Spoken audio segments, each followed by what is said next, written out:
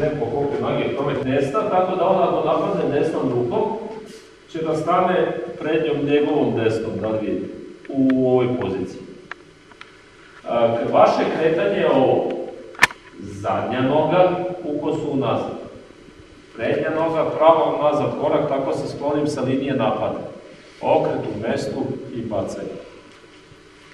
U ovoj prvoj varijanti koju ćemo da radimo, nemojte da radite ovo skroz vodan. Ovako. Znači, vi ne stojite ovako u ovoj poziciji, zašto kad ovo spustite, on može da vas udari drugom rukom. U ovoj poziciji vaša ruka već treba bude gore. Znači, gledajte, pozicija koja vam treba, znači, vaša ukrštena ruka ide šomen učik do gore, ova druga ruka ide dole, ovako stavite po tacu držite, i kad pomenite noge, zadnju i prednju, idete ovako pravo dole. Tako da partnera spustite prvo ovdje. Znači, prvi deo kretanja je ovaj. U ovoj poziciji ja njega mogu da udarim, a on ako krene ka meni, već nastavim dalje u sebi. Znači, pazite na taj prvi deo. Prvi deo. Drugi deo je da ovde ovo podignete gore. On sad ako pokuša, znači ja stojim paralelno sa njegovom rukom, ako on pokuša da udari drugom rukom, ne može od svoje ruke, pošto ja to držim. Međutim, problem je odavde što vi sad nastavite ovako i partner pod. To znači, u stvari, hoćete da spustite po njegovoj liniji po kojoj je napao. Znači, pogledajte, treba da uradite dole, gore, međutim, dok ova ruka diže gore, ova ruka uvija ovo i tegni tamo u sferu gde pokazuje njegova ruka. Pošto njegova ruka kad se uvije, ona se iskrivi i prsti pokazuju tamo u stvari, onda treba da okrenete kuk. E sad je sve ovo na mojoj liniji, na mojoj osi. Znači, pogledajte još jednom. Nije ovo dole, gore, pa ovako dole, nego je dole, gore ovo uvijete i tamo produžite. U ovoj poziciji on ne može vrati ruku, zato što ovo drži, razumete, a ovo kad uvijem, ja ga kontrolišem, on ima čak i polu, mada mi ne treba tolika poluka. Znači, dovoljno je samo da uvijete i da produžite kuda je tog njegovog hija uz Znači, dole, ovo je pozicija prebacanja. Probajte.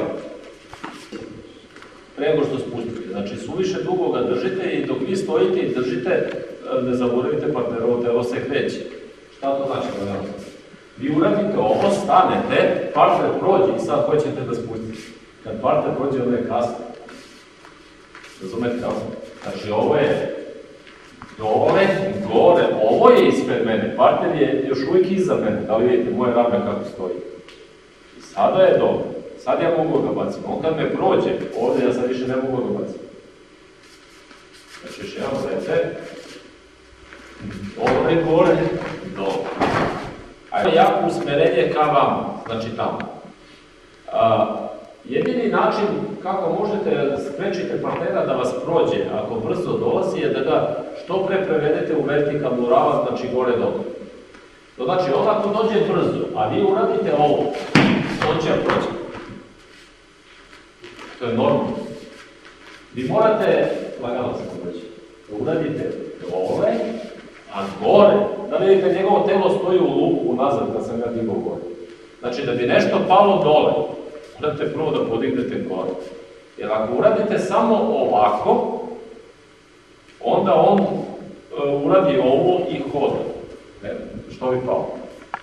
Znači, praktično treba da reći, da napravite jedan talas koji će ovako da ga pokreće sve vreme. To znači, uh, mesto gde treba da padnu vaše ruke posle ovoga je tu. To je dole. Ovo nije dole, to je tamo. To znači vi ovde uspete i gurnete partnera tamo na pod, osim što ga ne dignete dole. Znači pogledajte, dole, gore, ovde, ovde, dole. Probajte. Raspona, šta zadnja, ide prednja, okrećete se i bacate. Znači bacate ovako u raspad. Možete da uradite kada vam se podižu vaše ruke sa partnerovom rukom, u ovoj poziciji da podignete ovu nogu i da koraknete koliko vam treba da bacite partnera.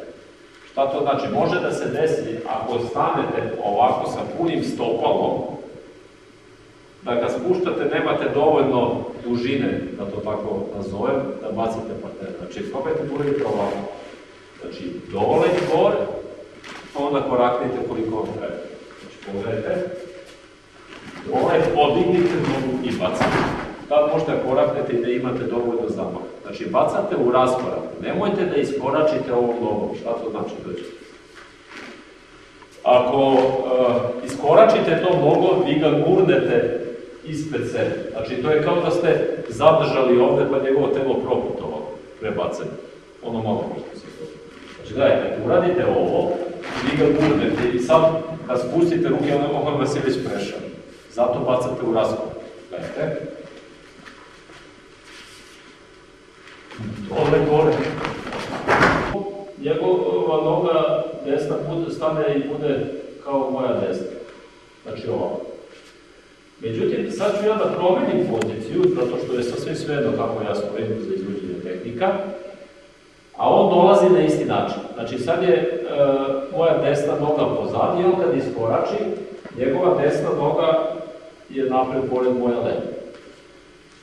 E sad, malo pre kad je moja desna noga bila napred, a on dolazio sa desne strane, moje kretanje je bilo zadnja, prednja i sve ostalo.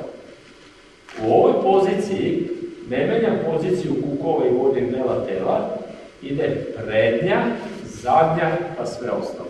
Još jedan gledajte. Kako on dolazi? Ide prednja, zadnja, pa sve ostalo.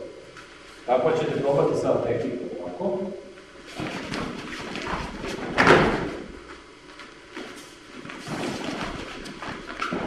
Opet u tom prvom delu je ovo. Znači, pravo ispred. Sad je možete da tako da vam noge budu sa iste strane. Znači, partner ulazi u ritmu.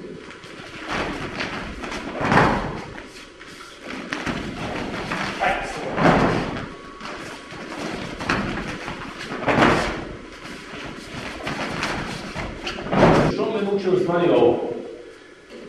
To je što me muči.